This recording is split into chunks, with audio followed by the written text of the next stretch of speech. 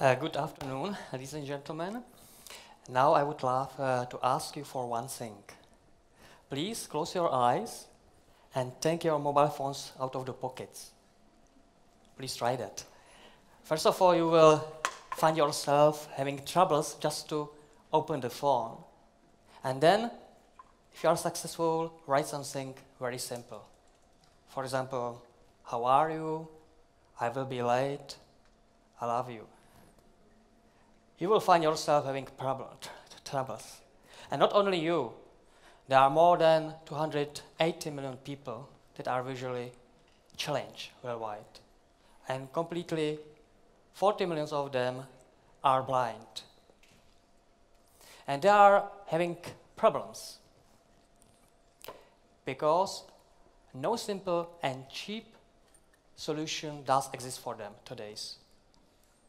Of course, they got uh, old traditional phones with hardware keyboard.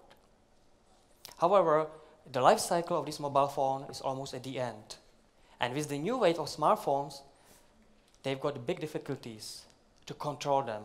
It takes days or even weeks or even months to control the mobile phone. Three years ago, we were approached by a user, and he asked for help. Well, uh, it was a challenge for us, but we promised to solve this problem. But we didn't have any idea how to proceed. Therefore, we followed the user-centered design principle, and we asked our users.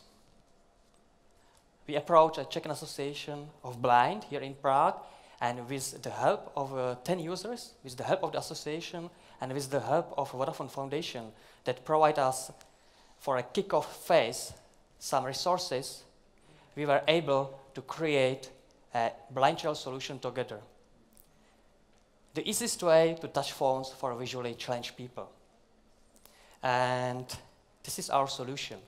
It's a touch phone, smartphone, with integrated ecosystem inside. It's not just only about uh, sending SMS messages or making a phone calls. It's more even complex. If you are a blind or visually challenged person, you need a lot of gadgets to help you. Like, for example, color detector, a special gadget device for background recognition, some kind of device for magnifying text. And these are quite expensive. They could cost you about several ten, hundreds, even thousand dollars. And not even that. We also integrated some special solutions for them, like Bookshare, the biggest online library of textbooks, or LibriVox, the biggest open library of audiobooks that, can, that anybody can download. We are few. Uh, today I would like to introduce our new PR face, white curly dog Momo. He just joined us three weeks ago. It's assistive dog of uh, Lady Nurey. Next to Murray, it's a Bronya, our first country manager that is responsible for German and Austria market. And behind the girls, it's a Jan that help us with business development. And there's of them, they are very smart and young programmers. We started one year ago. We introduced our solution in SightCity. This is the biggest fair trade ever that take place every year in March in uh, Frankfurt. Since that, we've been acquiring 15 business partners across 10 countries. And recently, this March, uh, we visited India region, South Asia, and uh, we went to the another fair trade in uh, San Diego, United States. Regarding our business activities, we use indirect model. That means that we are cooperating with assistive technology companies, with National Organization of Blind. Recently, we started cooperating with eye clinics, especially in developing countries, and the future is a cooperation with mobile operators. Having said that, that there are more than 280 million people that are visually impaired, you can see that uh, the biggest attention should be in the South Asia, especially India. There are more clients that in South, North, and Europe together. About 75 million people are visually impaired there. But uh, the big problem is a cost. You need really cheap solution for them. Therefore, we started cooperating with Foxconn company. This is the biggest hardware producer. We just signed a contract, and today several thousand low-cost Foxconn quality mobile phones are shipped to Pardubice from Shenzhen in China.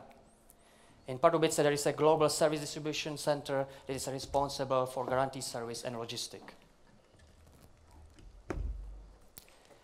During my roadshow in India, I was uh, very surprised that nearly a quarter of population needs some kind of eye care. I visited two centers in Hyderabad, it's a prestigious LV Prasad Eye Institute, and then I went to the south near to, near to Sri Lanka in Madurai, where is a Aravind care system. It's a prestigious center that is backed up by World Health Organization and the biggest foundation ever and uh, they are very, very efficient. They could give a care of 13,000 patients daily with uh, four big clinics with 50 daily centers that are separated across Tamil, South India region. And they got a very nice business model. 60% of care that are providing is for free. So anybody, anybody is really cured there and the rest, the 40%, are paying for the poor 60%. And still, they are making like $10 million yearly, and they are still NGO. So they are really good partners for cooperation, and we just start some small pilots there. Here you can see two small boys. It was for the first time that were, were holding the smartphone in their hands, and I was very happy to see that in a few minutes, they were able to control the mobile phone with a little help of their teacher on your right. Then we come back to New Delhi. We visited their fair trade, and again, uh, it was a second surprise for me. There were lots of smart devices that were very affordable and very, very advanced. Basically speaking, designed by Indian Institute of Technology. So just to recap, Yes, we are working in each market. It's very challenging. However, there are just only a few competitors. So it means that it's a really good opportunity for cooperation. We saw the example of Foxconn to make a, some kind of share value.